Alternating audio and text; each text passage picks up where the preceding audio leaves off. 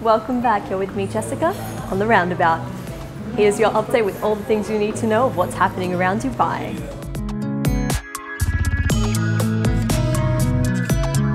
Sheikh Mohammed has just announced a new government vision of the future on his Twitter page, following a meeting with 1,000 government officials.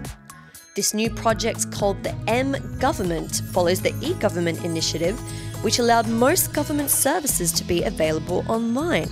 Sheikh Mohammed tweeted that the government of the future works 24 7, 365 days a year, and has hopes of reaching the people instead of the people reaching the government.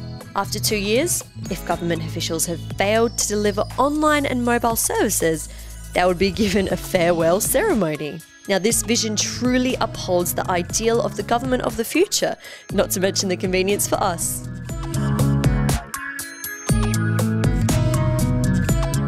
Want to help your friend out by sending them some extra credit?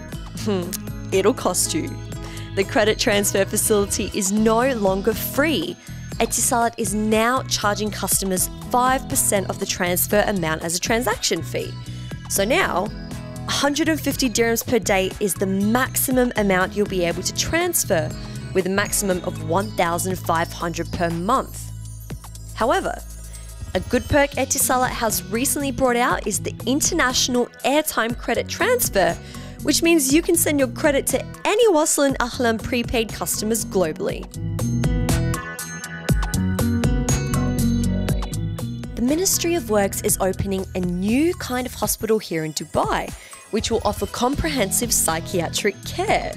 The Al Amal Psychiatric Hospital project will cost around 500 million dirhams spanning about 54,000 square metres with a capacity of 272 wards.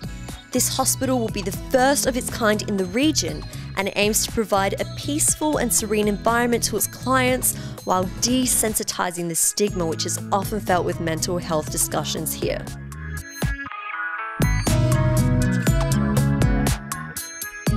Not quite in shape at the beginning of this bikini season?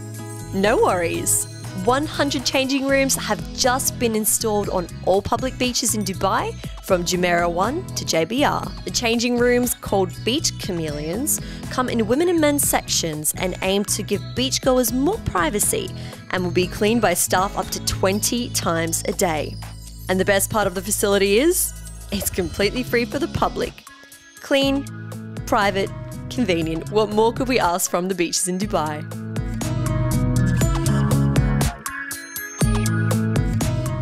Looking to stay somewhere a little out of this world on your next holiday? Then look no further than Doha, Abu Dhabi, or Dubai as the region's first space hotels could be built.